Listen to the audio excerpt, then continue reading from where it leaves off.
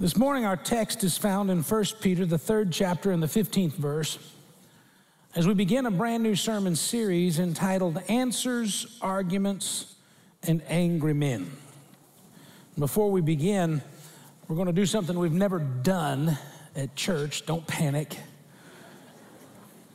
But this week, I thought, considering the content and the importance and the weight of it, I wanted to create an outline for you to follow along with this message. So if you have a cell phone, pull that out and take a picture of the screen. We're going to put up a QR code and it'll give you access to an outline. Or you can go to jhm.org forward slash answers because this is information that I want you to have. I want you to study it. I want you to look at it for yourself, consider it.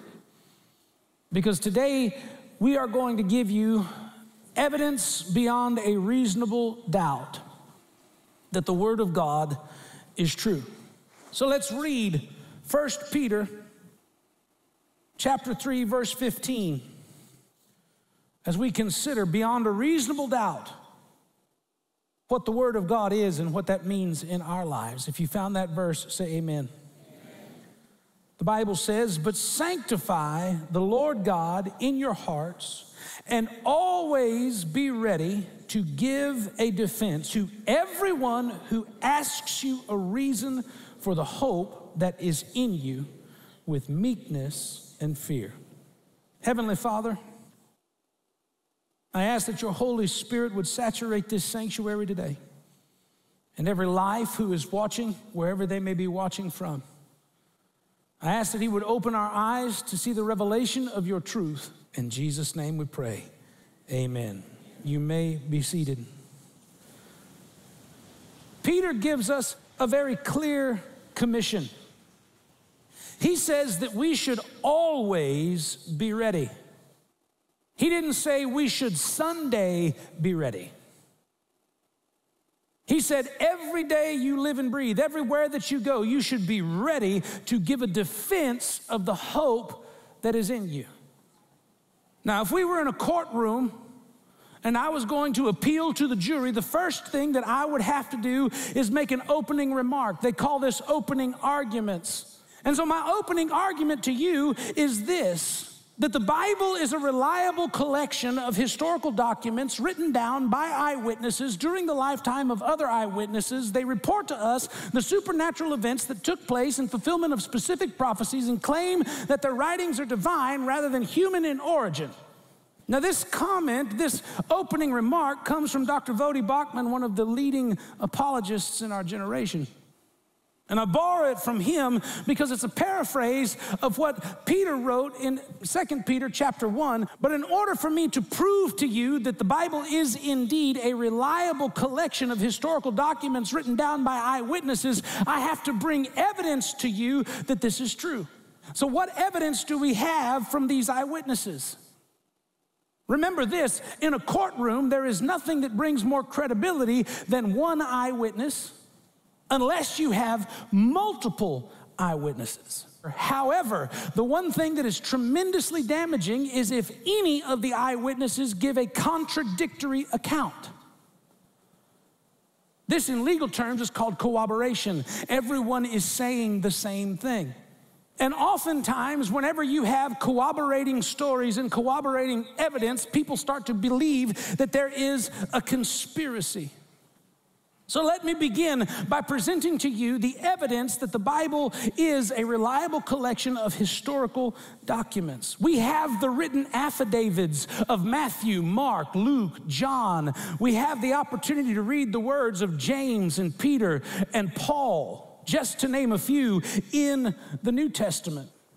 What you read in the New Testament are the affirmations of what they wrote during the life of Jesus Christ, fulfilling prophecies in the Old Testament. There are 66 books in this book, written by more than 40 authors, and they wrote it on three different continents over the span of 1,500 years. There's no way that Moses, writing the law in Genesis, could have had any contact with the Apostle John, who's writing on the Isle of Patmos 1,500 years later. However, in these 66 books, do you know what you find? You find thematic agreement. They all agree.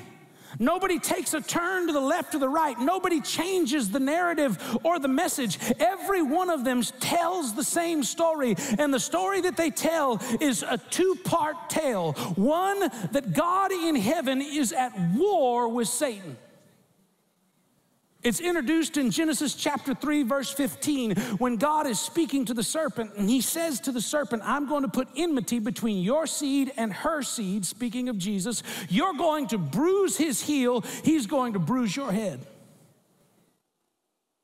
Just a few verses later, Genesis 3 and 21, you see the second part of the story, which is God's plan to redeem man. Because in Genesis chapter 3 and verse 21, God went and He took animal skins and He made a covering for the nakedness of Adam and Eve. It was a picture of His grace and His redemptive covering work in the lives of men. Now, 66 books later, do you know what Revelation is talking about? War with Satan and the redemption of man. In Revelation chapter 20, Satan is defeated. He's cast into the lake of fire where he remains forever. In Revelation chapter 22, the voice of the angel is speaking to all who will hear and all who will thirst, that no one will be denied if you want to come and drink freely of this water. What's the message of the vastness of all of those who wrote in the Word of God? In the 66 historical documents that I hold in my hand, it took over 1,500 years from 30 plus authors with 40 different languages and different cultures and different continents at different times. And do you know what? There is no contradiction, there's thematic agreement. Now, is that a coincidence? I don't think so. The only way that it can be reasonably explained is that they didn't get it from each other. They got it from a common source, and that common source was the Holy Spirit of the living God who told it to them. They heard these things in their various locations at their various times in their different languages by one source, and that source, according to 2 Timothy, is God. All scripture, 2 Timothy 3 and 16, is given by inspiration of God. Peter said it this way in 2 Peter chapter 1 verse 16 and 21. If you read verse 21, he says, "Prophecy never came by the will of man, but by holy men of God who spoke as the Holy Spirit moved them." So, what does that mean? If the Holy Spirit spoke and all scripture is inspired by God, that means that we believe in the whole Bible. Not a Bible filled with holes, but the whole Bible. So, the first thing that I would submit to you, the jury, is that we have thematic agreement. It's hard to come by, but it's here. The second thing that I would submit to you, the jury, is we have historical validity. This is a valid historical document. And you say, How can you prove that? Well, one of the things that you want in historically valid documents is what they call proximity. Proximity comes from those who were close enough to the action to speak with authority. The best is an eyewitness. And when it comes to the New Testament, here's how much eyewitness testimony we have. Turn in your Bibles to Luke chapter 1, verse 1 through 4.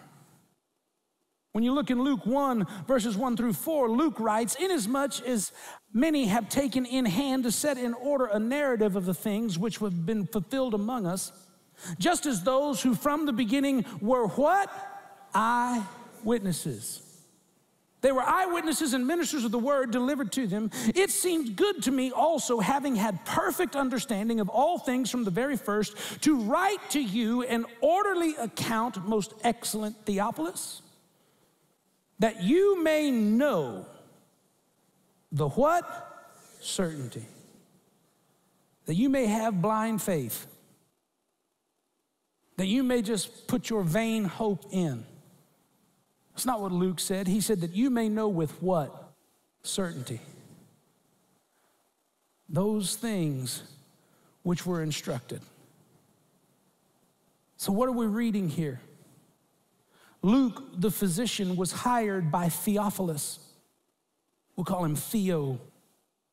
And Theo is a Greek who hears about this Jesus after the resurrection and the ascension of Christ. And he says, Look, it's kind of hard for me to believe that he's virgin born. It's hard for me to believe that he did all these miracles. It's hard for me to believe that he's crucified and he's risen and he's coming again. So, Luke, why don't you go down there and you interview some people and you find out what they saw and you tell me if what they saw is different than what we heard?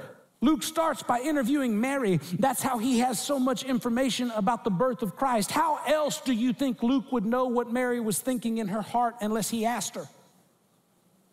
Then he starts with the disciples and he hears from the disciples what happened in the earthly life of Jesus Christ. And then he speaks to the apostle Paul in the prison in Rome. And this is where he hears about the things that took place in the book of Acts. And Luke tells Theophilus, he said, I did it. Everything that they told you, it happened. He was the virgin born son. He lived a sinless life. He died a sacrificial death. And on the third day, he rose again. Let's turn to 1 Corinthians chapter 15, beginning in verse 3.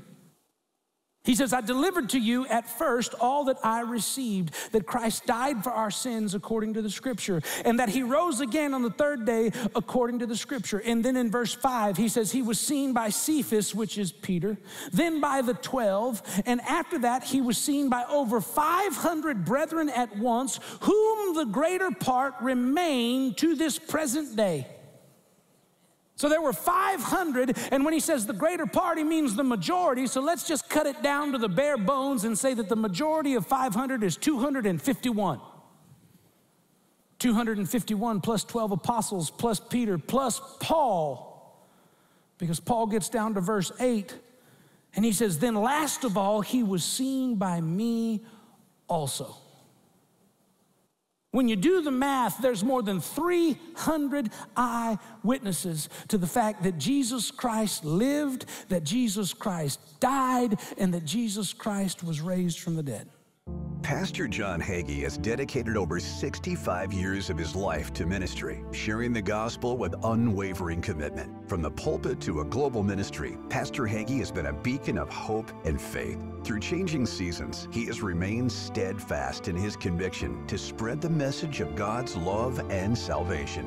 Trust in the loving Savior who performs miracles every day and watch him transform your life. For your gift of any amount, we will send you a unique 65 years commemorative coin and prayer journal. For your gift of $265 or more, you will also receive a Joshua 2415 tile art and a commemorative book celebrating Pastor Hagee's 65 years in ministry. Take refuge in the Word, and He will give His angels charge over you to give your special year-end tax-deductible gift today, call the number on your screen or visit jhm.org slash honor. Whenever you want to know how true something is, you look for how much people had to say about it, and then you compare their notes. And in comparing their notes, you decide from there whether or not you have enough evidence to prove it's true. This is called volume. So, just for the sake of our conversation today, I present to you, the jury, the evidence of four historical figures. How many of you remember Julius Caesar? None of you lived when he lived, but you read about him in school. Did anybody ever stand up and denounce Caesar? It's a lie. There was no Caesar.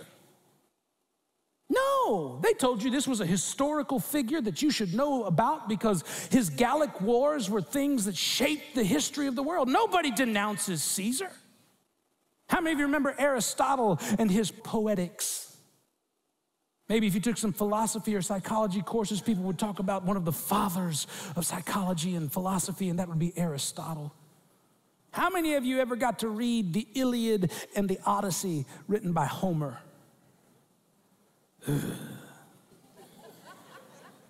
Nobody stands in circles of English discussing epic tales and denounces the life of Homer. So there must be volumes of material about these people. Well, let's start with the heavyweight, Julius Caesar. Julius Caesar was 100 BC to 44 BC, and his Gallic Wars are very important. And whenever we're studying history and we want to know about Julius Caesar, we take the file box and we look inside, and do you know what we find? Less than 10 manuscripts. With less than 10 manuscripts, we believe in Caesar. Now, the thing that's crazy when it comes to proximity is that the earliest manuscripts on Caesar are 900 years after his death. How many of you think they might have got a few things wrong? All right, Caesar, we believe in you. Surely, Aristotle.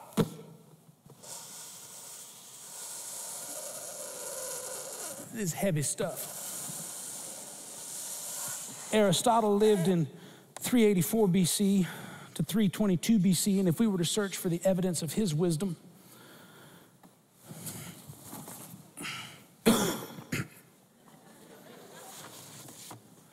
less than five manuscripts. Less than five manuscripts. The earliest is 1900 years after his death. But we believe in Aristotle.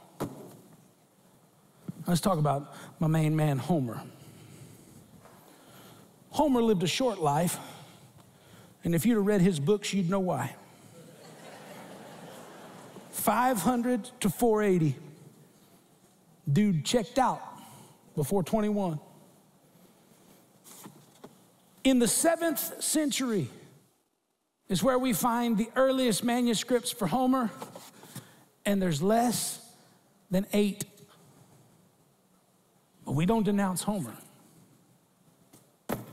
Now, in the context of evidence, if you have enough evidence to believe in Caesar, and you have enough evidence to believe in Aristotle, and you have enough evidence to believe in Homer, and in one you have 10, and in the other you have five, and in the other you have around eight, written hundreds and even thousands of years after they were on the face of the earth.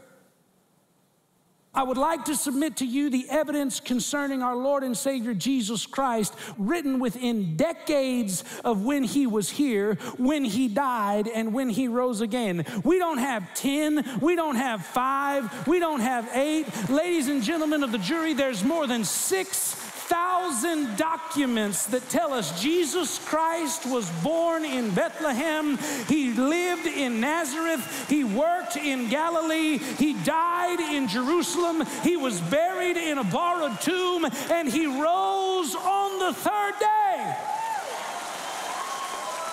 6,000.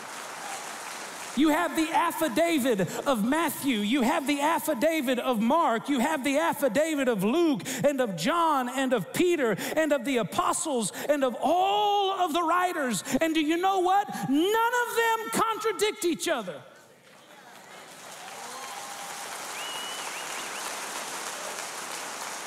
So if you have enough to believe in these bags of bones, then what keeps you from believing in your Lord and Savior Jesus Christ? We have thematic agreement. We have historical validation. And finally, we have prophetic agreement. The Bible is the only book that tells history in advance. The doctrinal term is prophecy. But prophecy is really nothing more than telling history in advance. It's not a prediction. Weathermen predict. Prophets tell you what's going to happen before it happens. There are no weather prophets on the news. But when you read Bible prophecy, you don't hear about things that they talked about just before they happened. You hear about things that they talked about hundreds of years in advance. They talk specifically about dates and times and locations. And do you know how accurate they are? Not 80 20, not 75 25, not 90 10, 100% accurate. And we could do this for hours, but I'm just going to close with two. And they both concern the individual we've been discussing most this morning, Jesus Christ. Let's talk about his birth. Micah, a prophet, not a predictor. Micah in Micah 5, 2 and 3, he says Christ would be born in Bethlehem. 700 years later, Matthew chapter 2, 5 and 6. 700 years later, we read Christ is born in Bethlehem. Now let's go to the death of Christ. Psalm 22. Psalm 22, verse 1 begins with these words My God, my God, why have you forsaken me?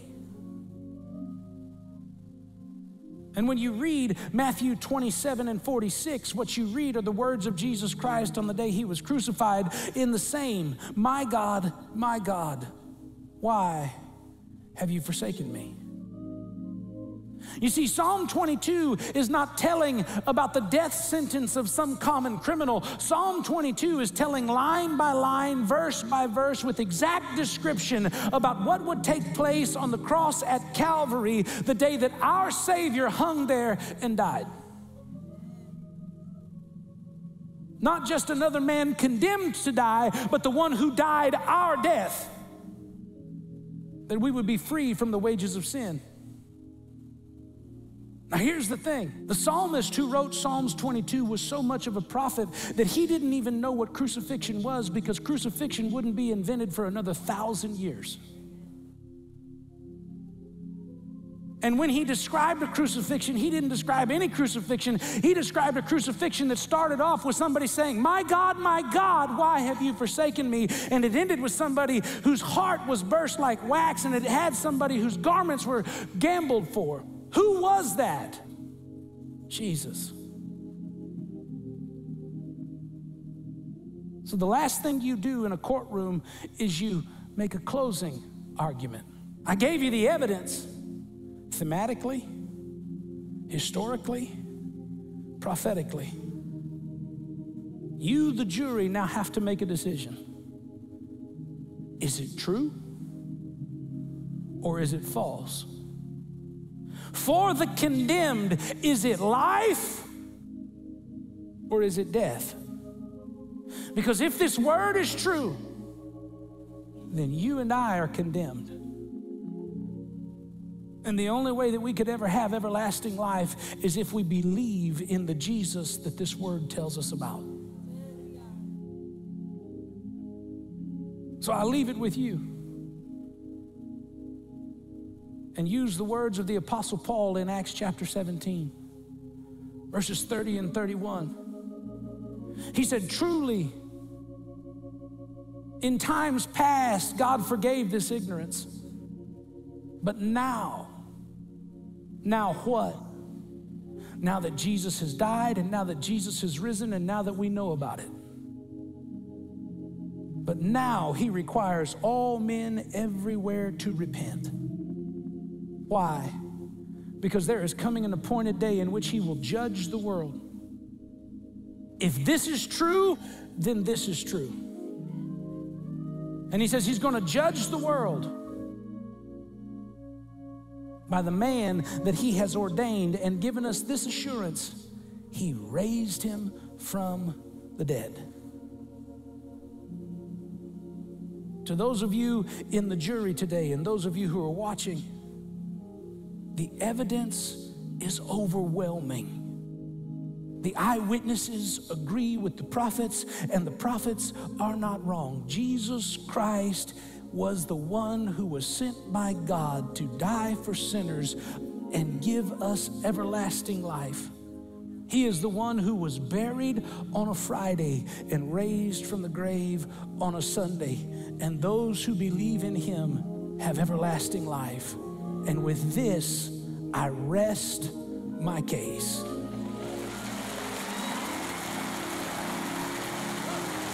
Would you stand in the presence of the Lord with every head bowed and every eye closed? You're in this place today and you say, Pastor, I've never accepted the truth of God's word in my heart. I've never accepted Jesus Christ as my Savior and my Redeemer.